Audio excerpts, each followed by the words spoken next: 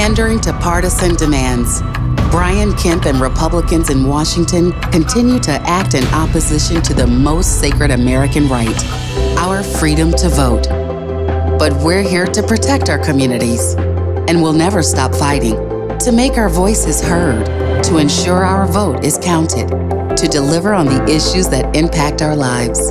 Join our fight to protect the right to vote. Visit StopJimCrow2.com, paid for by Fair Fight Action.